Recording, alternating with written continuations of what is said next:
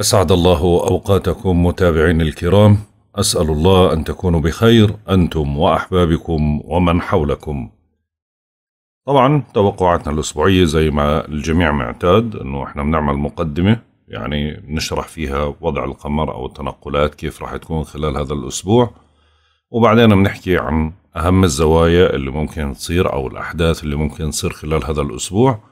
وبعدين نحكي عن تأثيرات الكواكب ككل على جميع البرج. يعني تواجدها إيش بتأثر إيش الإيجابية إيش السلبية على جميع الأبراج. وبرضه بعديها بنحكي إحنا توقعات الأسبوع ككل. فعشان هيك إذا بهمك تسمع من المقدمة بتسمع المقدمة.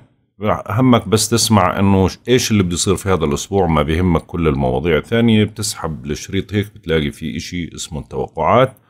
بتسمعها من عندها.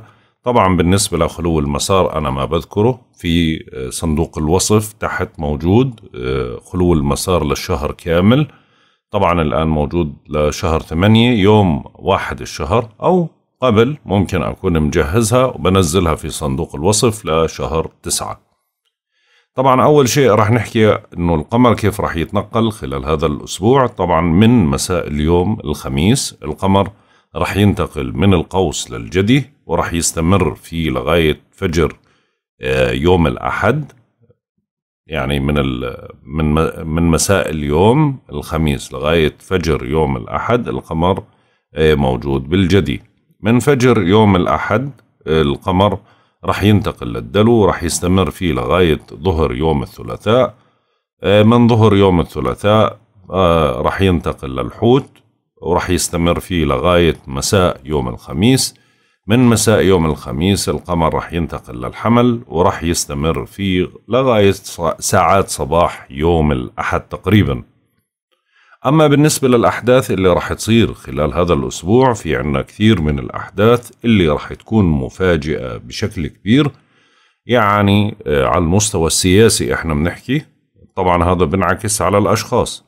في زوايا إيجابية كثيرة راح تتشكل خلال هذا الأسبوع بين الكواكب الكبيرة يعني بين عطارد بين الزهرة بين بلوتو أورانوس كلها زوايا تثليث أو تسديس يعني في زوايا قوية إيجابية خلال هذا الأسبوع ولكن هاي الزوايا تأثيرها راح يكون كبير بتحمل نوع من أنواع المفاجآت على المستوى السياسي إلها علاقة بتطور كبير في منطقة الجزيرة العربية وبعض البلدان العربية.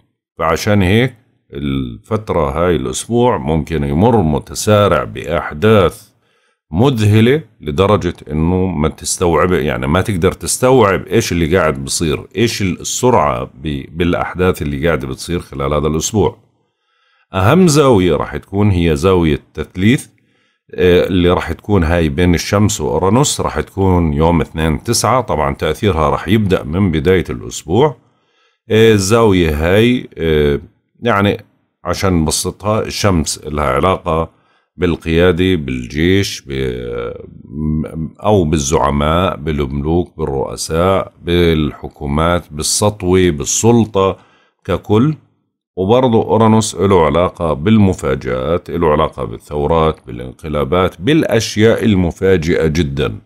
وبما أنه أورانوس بتراجع وراح يعمل زاوية التثليث مع الشمس وهي راح تكون في مكان حساس جدا لوجودها. معناته توقعوا مفاجآت على هذا المستوى. إله يعني اجمع انت بين هاي وهاي بتطلع بالمفاجآت اللي راح تطلع لأني أنا ما راح أقدر أشرحها إلا في يومها. راح نذكر إحنا إيش التأثير تاعها ولكن انت لحالك تخيل إيش اللي ممكن يصير من هاي الزاوية. أما بالنسبة للزاوية الخطرة اللي إحنا بدنا ننبه منها هي زاوية تربيع بين الزهرة والمريخ راح تكون يوم أربعة تسعة. هاي الزاوية طبعا الزهرة إلها علاقة بالجمال إلها علاقة بالعواطف إلها علاقة بالحب إلها علاقة بالغراميات إلها علاقة بالنساء مع المريخ. المريخ له علاقة بالجنس له علاقة بالعنف له علاقة بالتهجم له علاقة بالنيران له علاقة ب يعني ب... حتى بالكلام الجارح ف وله علاقة بالاغتصاب. فمعناته الأسبوع هذا رح يتركز على هاي المواضيع وإلها علاقة بأشياء صادمة جدا جدا حتى على المستوى الفني وعلى مستوى الموسيقى أو على مستوى مطربين أو ممثلين أو أعمال فنية رح تكون مضحكة وصادمة ومذهلة في نفس اللحظة يمكن بلشت آثارها. ولكن مع بداية الأسبوع لسه الآثار رح تكون أكبر.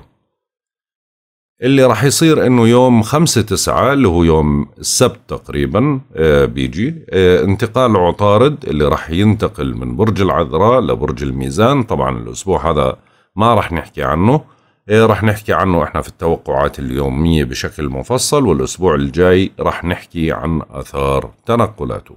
هاي أهم الأحداث. خلينا نشوف إيش التوقعات بالنسبة لكل الأبراج.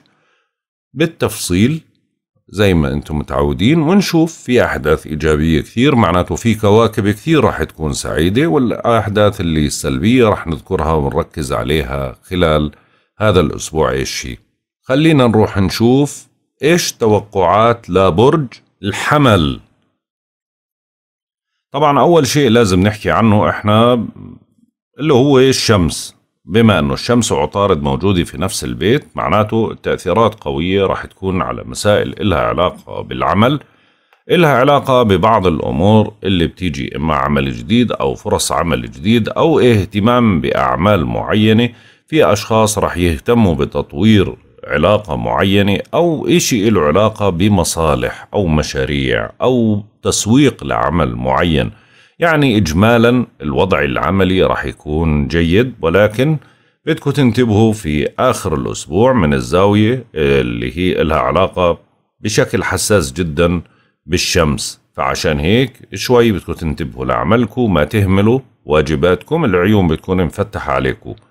أما بالنسبة للوضع الصحي إجمالا هذا الأسبوع بيحمل بعض الإيجابيات على المستوى الصحي ما في أي شيء بخوف. بالعكس يعني الأجواء بتحمل نوع من أنواع الإيجابية وممكن تجدوا علاج معين أو تهتموا ببعض الأشياء الإيجابية على المستوى العلاجي.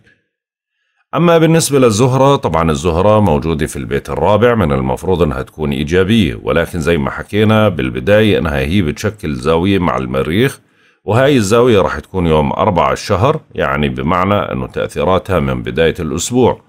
فعشان هيك بدكم تهتموا بمسائل إلها علاقة بالبيت. حساسيتكم بتكون عالية جدا صحيح الزهرة بتعطي إيجابية ولكن هنا فيها نوع من أنواع السلبية. فهنا بصير في نوع من أنواع المشاعر السلبية أو الحزن أو شيء معين بسبب لك نوع من أنواع الاضطراب أو الاكتئاب أو خلاف حاد ما بينك وبين أحد أفراد العائلة أو مشكلة منزلية. ولكن في بعض مواليد الحمل ممكن إنهم يحزنوا على شيء له علاقة بأحد الأحبة. أما بالنسبة للمريخ طبعا المريخ بشكل زاوية حادة زي ما حكينا مع الزهرة فهو ضلع في هذا الموضوع. هو بيخلي العصبية أو الحدية تكون موجودة بشكل كبير وهو بقلب المزاج وبجيب لكم نوع من أنواع التوترات أو بخليكم تضعفوا شوي باتخاذكم لبعض الإجراءات لو بعض القرارات أو تصدروا قرارات بشكل عنيف. فعشان هيك بدكم تضبطوا أعصابكم وتحكوا متقلبات النفسية عندكم. أما بالنسبة للجدي طبعا هو اللي له علاقة بالبيت العاشر اللي هو بيت السمعة وبرضه بشكل زوايا حادة مع المريخ وإلها فترة وراح تستمر حتى بداية العام الجديد وهذا له علاقة ببيت السمعة. فعشان هيك أول إشي هو أن المشتري بلوتو زحل الثلاثة بيتراجعوا فهم بشكلوا آه، خطر على السمعة. فعشان هيك بالفترة هاي بنقول لك لا تجازف لا تغامر لا تدخل بأشياء مشبوهة.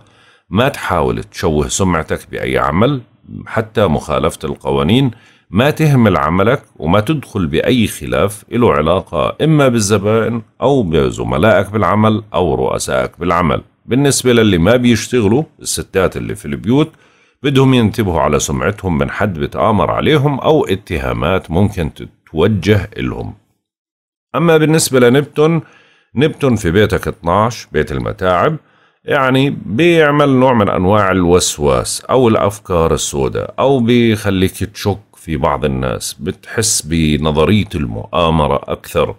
إيه، مؤامرة على العمل مؤامرة على وضعك مؤامرة على علاقاتك. وفي كثير من الأشخاص اللي من برج الحمل ممكن أشخاص توعدهم بأشياء ولكن ما رح يوفوا فيها بيعيشوكم بوهم أو بيعيشوكم بنوع من أنواع الأحلام الوردية. أما بالنسبة لأورانوس أورانوس طبعا آه، راح يشكل زاوية إيجابية هي راح تضعف بعض السلبيات اللي موجودة فيه من التراجع. وبما أنه في البيت الثاني معناته في أمور إلها علاقة بالمفاجآت على المستوى المالي يعني نوع من أنواع المفاجأة. أو أشياء بتدخل تحسين بشكل مفاجئ على الوضع المالي عندك أو ممكن عمل إضافي أو يجيك عمل جديد أو صفقة معينة أو اهتمام بوضع مثلا له علاقة بمستردات هبات تعويض أشياء من هذا القبيل ممكن تهتم وممكن صفقة تجارية أو صفقة لها علاقة بالأسهم اللي بيشتغلوا بالأسهم أو بالبورصة. يعني في إشي مفاجئ. ممكن يحدث على المستوى المالي بدكم تكونوا يقظين إما إيجابي أو سلبي ولكن الأغلب أنه الأسبوع هذا راح يكون فيه نوع من أنواع الإيجابية. أما بالنسبة للتوقعات الأسبوعية من ساعات مساء اليوم الخميس القمر موجود في الجدي حتى فجر يوم الأحد. بتتركز جهودكم نحو العمل والعلاقة مع المسؤولين بوسعكم إثبات جدارتكم والمحافظة على إنجازاتكم القائمة. ما بينفعك العناد والتحدي أو التش... إنها تشتد ضغوط عندك هيك فتفقد السيطرة على حالك. حاول إنك تبرر عملك وإظهر مهارتك خلال الفترة هاي. ممكن تكون الظروف معقدة شوي وصعبة وانت طباعك برضو وافكارك مشتتة وعصبي نتيجة ممكن نتيجة غضب أو اضطراب. من فجر يوم الأحد القمر بصير موجود في الدلو حتى ظهر يوم الثلاثاء. بتنشطوا اجتماعيا وبتسعدوا في لقاء الأصدقاء منكم ممكن يتلقى دعوة لحضور حفلة أو مناسبة سعيدة.